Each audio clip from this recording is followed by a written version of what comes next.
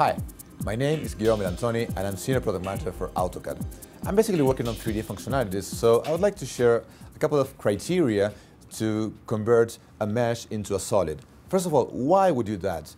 Normally, if you are using a mesh because it's very flexible, at some points you may want to make an intersection, for example, with a solid. In that case, you need that, that mesh be converted into a solid. So how do you do that?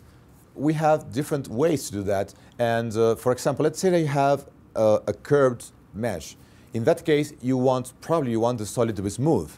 So in that case, you will select conversion to solid with smooth optimized, which means that AutoCAD will try to stitch all the faces in the mesh that have G2 continuity. So where, there's a perfect curvature, AutoCAD will create just one NURB patch. And that is very interesting because it will decrease the amount of complexity of NURB patches in the solid.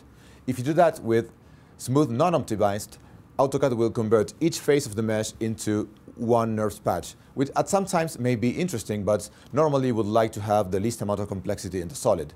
On the other side, if you select faceted optimized or non-optimized, you will get planar faces out of each element. And sometimes that's what you need. So just take a look at those options, try them, and see what fits in your workflow, and just make sure that you uh, select the right one on those things. But you really need to know what you're doing, and then AutoCAD will make the work for you great.